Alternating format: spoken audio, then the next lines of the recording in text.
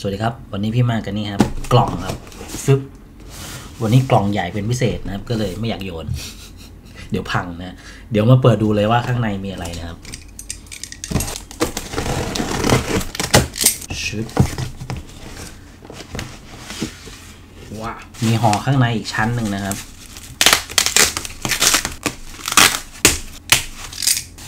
ชุบโอ้ขาดนิดหน่อย แต่ไม่เป็นไร ไม่ใช่ของขาดนะครับไอ้ ผ้าไอ้กระดาษนี่ค่ะฟึบนี่คือ for you text wimble tree นะครับ ซึ่งจริง ๆ แล้วพี่เคยรีวิวตัวนี้มาประมาณ 2 ครั้งมั้ง พอดีพี่ไปเจอตัว Wimble Tree เนี่ยใน Lazada ครับ ก็เลยอดใจไม่ได้ เพราะว่าตั้งแต่พี่รีวิวตอนนั้น พี่รู้สึกว่าชอบอะพี่รู้สึกว่าเฮ้ยมันเจ๋งอะแล้วก็ตอนนั้นราคาก็ค่อนข้างสูงนะครับ แล้วก็วันเนี้ยไปเจอที่ Lazada นะครับ ราคาอยู่ที่ 2,890 บาทอะถูกมาก เป็นอะไรที่ถูกมากก็เลยรู้สึกว่าแบบเฮ้ยน่าเป็นเจ้าของมากก็เลยสั่งมาครับนี่เดี๋ยวยังไงเดี๋ยวพี่ทิ้งลิงก์ไว้นะ จาก cover 2 pro นะครับลด 28%จากราคา 3,990 บาท อันนี้คือน่าโดนมากแนะนำเลย ลองมาดูข้างในกันนะครับ เปิดออกมานะฟึมกล่องสวยนะ กล่องดีมากเลย ชึมออกมานะครับข้างในกล่องก็จะมีนี่ครับ เป็นการ์ดนะครับ การ์ดนี้ก็จะมี QR code แบบโหหนึ่งสองสามสี่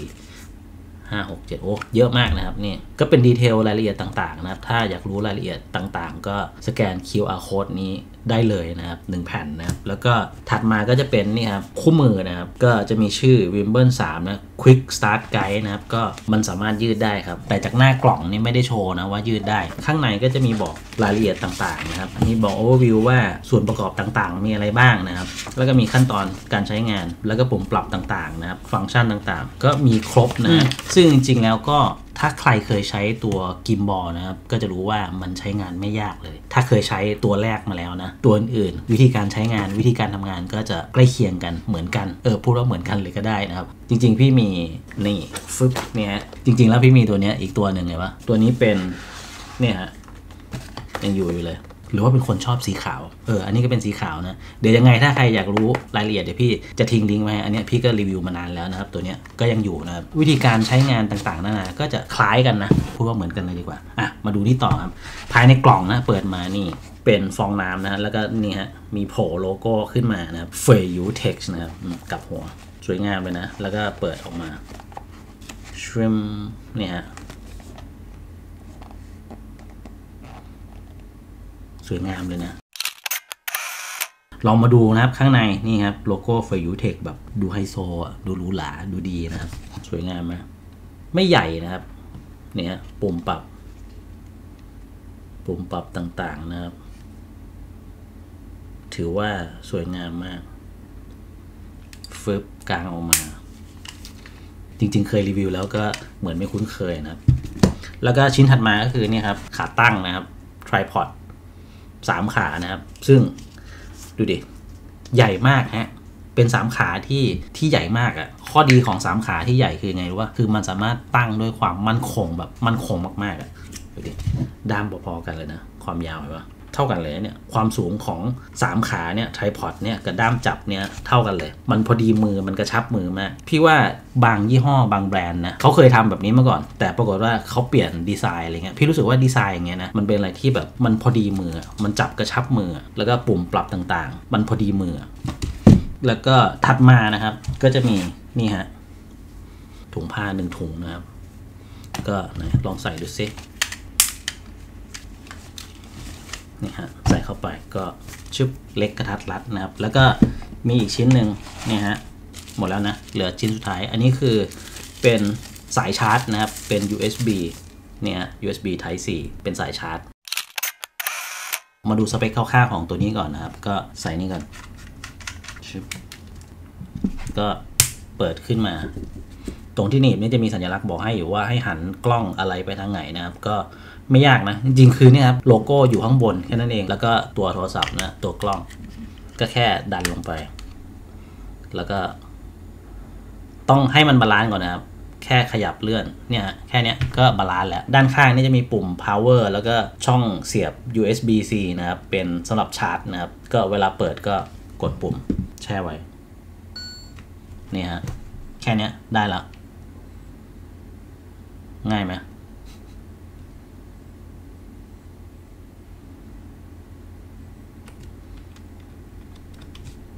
ฟึบ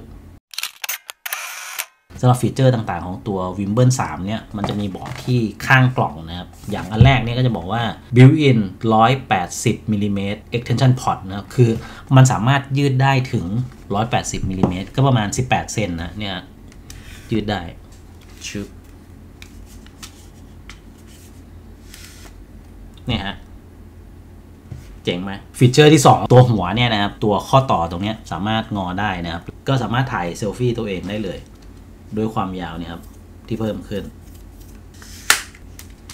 มีปุ่มฟังก์ชันที่แยกอิสระจากกันนะครับ แล้วก็พับเก็บง่ายนะฮะแล้วก็สามารถต่อไฟได้ด้วยนะครับ ตรงนี้ข้างบนเนี้ยสามารถต่อไฟที่เป็นอุปกรณ์เสริมของตัว w i m b l e 3ได้นะครับ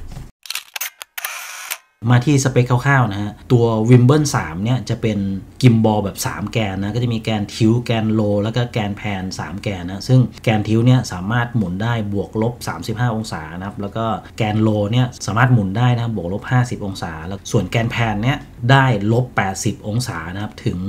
174 องศานะครับ แล้วก็น้ำหนักของตัว gimbal นะหนักแค่ 387 กรัมแค่นั้นเอง แล้วก็ใช้แบตเตอรี่ 1,300 มิลลิแอมป์นะครับ การชาร์จหนึ่งครั้งใช้เวลาประมาณ 2 ชั่วโมงครึ่งนะฮะ payload นะครับ สามารถรับน้ำหนักได้ 260 กรัมนะครับสำหรับปุ่มฟังก์ชันนะครับ ด้านหน้าจะเป็นตัว trigger ถ้ากด double click 2ครั้งที่ตัว trigger ด้านหน้านะครับปึ๊บปึ๊บ เนี่ย มันจะเป็นการ reposition นะครับไม่ว่าเราจะหมุนไปทางไหนนะชึบพอเรากด trigger 2ครั้ง ปึ๊บปึ๊บเนี่ยครับ มันจะ reposition มาให้ฟังก์ชันทั้งหมดที่อยู่ใน gimbal เนี่ย จะทำงานคู่กับตัวแอป ซึ่งสามารถควบคุมกล้องได้ มาทางด้านหน้านะครับ ทางด้านหน้าด้านบนนี่ก็จะเป็นจอยสติ๊กนะครับที่เนี่ยครับก้มเงย ซ้ายขวา pan เป็นจอยสติ๊กสี่ทิศทางนะครับ แล้วก็ด้านล่างจอยสติ๊กเนี่ยจะเป็น multi-function นะครับ ซึ่งตัว multi-function เนี่ยเป็นได้ทั้ง zoom in zoom out นะครับ แล้วก็เป็นได้ทั้งโฟกัสนะครับ แล้วก็เป็นได้ทั้ง แกน roll นะคือแกนที่จะให้หมุนนะครับมัลติฟัง c t ชันตัวนี้พี่รู้สึกว่าเป็นอะไรที่แบบเจ๋งมากคือสามารถทำงานได้แบบครบอะแล้วก็ปุ่มด้านบนปุ่มนี้นะครับเป็นอัลบั้มนะสำหรับเรียกดูภาพหรือดูวิดีโอที่เราถ่ายไว้นะครับแล้วก็ปุ่มถัดมาที่อยู่ตรงกลางที่มีรูปตัว M ถ้ากด 1 ครั้งนะจะเป็นการเปลี่ยนระบบแพน follow นะแต่ถ้ากด 2 ครั้งนะครับจะเป็นการเปลี่ยนเนี่ยครับจากแนวนอนตึกตึกสองทีกลายเป็นแนวตั้ง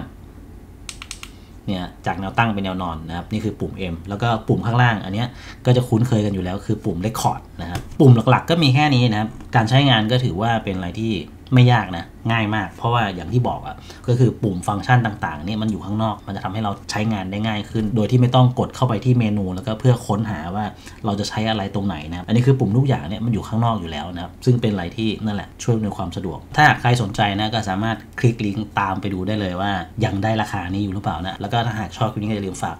กดไลค์กดแชร์แล้วก็กด subscribe ด้วยนะครับแล้วเจอกันใหม่คลิปหน้าสำหรับคลิปนี้สวัสดีครับ